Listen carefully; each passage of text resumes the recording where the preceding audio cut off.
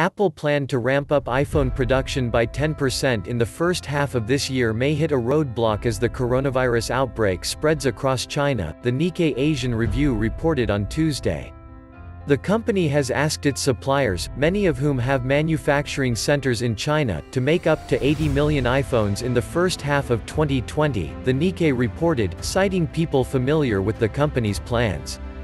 Apple has booked orders for up to 65 million of its older iPhones and up to 15 million units of a new cut-price model that it plans to unveil in March, according to the report.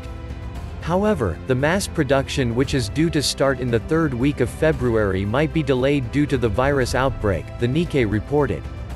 The coronavirus outbreak has so far killed more than 100 people and infected over 4,500 in China, stranded tens of millions during the Lunar New Year holiday and rattled global markets.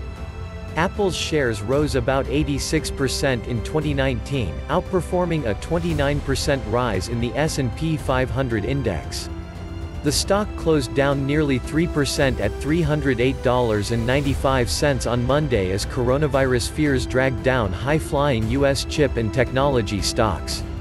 Cupertino, California-based Apple, which raked in more than $142 billion in iPhone sales in fiscal 2019, has introduced lower-priced smartphone variants to woo budget-conscious shoppers and check declining sales of its biggest product category.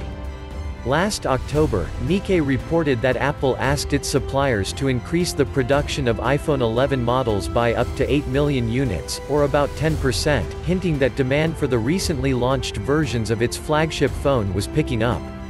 The iPhone maker is set to report its first quarter earnings after markets close on Tuesday. Thank you for watching our video.